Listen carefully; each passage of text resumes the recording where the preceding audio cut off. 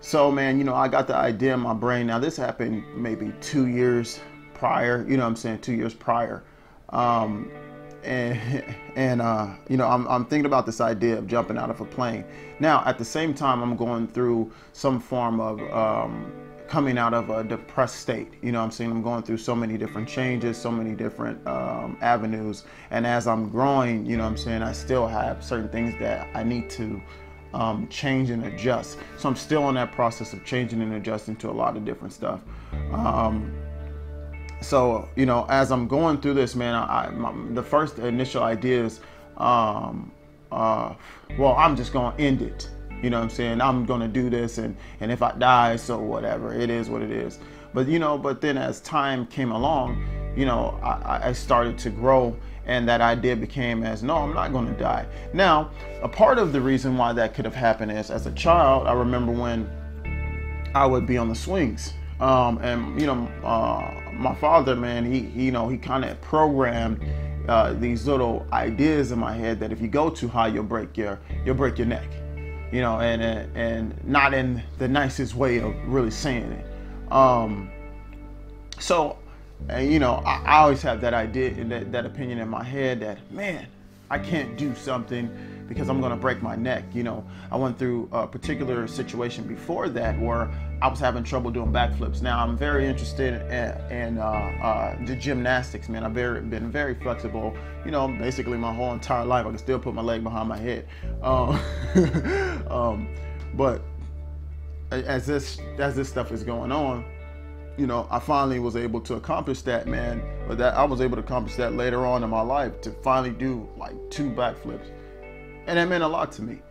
And um, you know, as I'm breaking out of my my father's uh, uh, cycle of thinking, you know, I'm coming on this cycle of actually going skydiving now. So prior to uh, that event, man, I had problems going on roller coasters because of my dad. Man, I hear my dad in my head. I hear my dad in my head, and he's telling me how much I'm gonna break my neck. And this has started as I was a child. This is why you have to be very careful what you say to your child at very young ages because they're they're, they're sponges. And every time somebody says that they're sponges, you always take it in a positive manner. But no, there are sponges in positive and negative, so they see both sides of what's going on.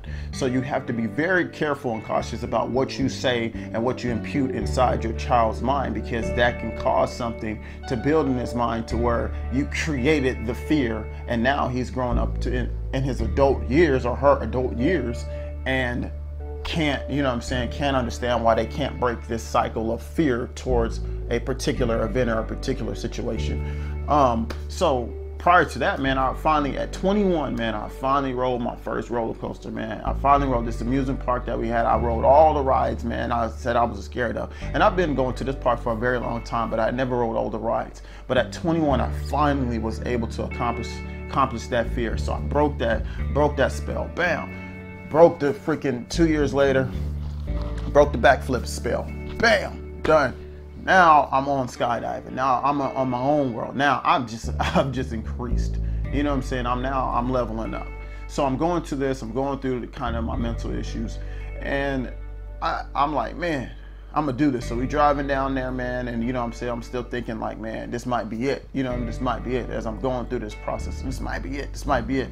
So uh, everybody was flipping out Everybody was flipping out before this happened. People were flipping out like, man, you going skydiving? What you mean you going skydiving, man? That's dangerous. That blah blah blah. They're fearing their their fears. They're trying to impute their fears onto me, and they're not even there. So they don't even know how I'm already feeling. So I'm already kind of bothered about the situation, but I'm gonna go through it. So, but they're trying to impute and send their information of fears to me about what I'm about to do. Like, like I've even was told to be careful, be safe well, man, how? you know, I, I can't, I, I really don't control too much of what happens outside of falling outside the plane. So, how? But it's their fears or whatever. You know what I'm saying? I'm gonna be safe falling out of a plane. It's not safe. You know, we know it's not safe. But before that happened, people would say to me all the time, "Oh, skydiving's dangerous." When I told them, "Yeah, man, I'm thinking about going skydiving," and they're like, "Well, well, what if something bad happens?" I said, "Well, I won't have to think about it long." and it, it's kind of funny, man, because it's the truth, man. You know, we, we don't realize, man, if death so happens to hit us, you don't got to think about it. It's over. It's all over with. Um, so, so stop dwelling on it, man. Once you leave this body, it is. You know what I'm saying? It is what it's gonna be until you either transition back or, or, or until or you out for good. That's it. You know what I'm saying? So when I'm looking at things like that, man, I'm still, you know, I'm still, we driving down there and man, you know, I'm kind of contemplating. Now I'm getting a little bit better, man. I'm kind of breaking my, my depression cycle as I'm going through it. I almost was like, uh, I'm going to back up. You know what I'm saying? I to do this anymore. I'm happy now. But I'm like, no, man, I'm going to face these fears. I'm going to attack them head on. So we get to the place, you know, we get to the place and you know, you get inside, man. They got this big waiver, man. You got to sign. We about two hours earlier than time, and I'm looking at these waiver, man. I ain't taking forever to sign it.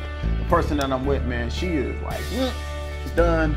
you know what I'm saying? Like she's already, she game. She's already game for it. But I'm reading the contract. I'm double reading it, and I'm like, man, I'm overthinking it basically. And basically, man, when you be overthinking so much stuff, you just be like, man, forget this. But I'm like, you know what? I'm here. You know what I'm saying? I, I, I ain't scared. You know what I'm saying? I, I drove all the way out here to do this. I'm doing this. You know what I'm saying? I made it up in my mind. I don't care what happens. I'm doing this. So I go do this. Now, like I said, I'm afraid of heights. So we get in the plane, you know what I'm saying? We the last, we the last group.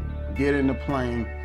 You know what I'm saying? Before that, they strapping us up, saying all these kind of interesting things, making us laugh, you know what I'm saying? Joking around, trying to keep our mind off of it. Plane, man, this little small plane I probably can fit in like a small classroom.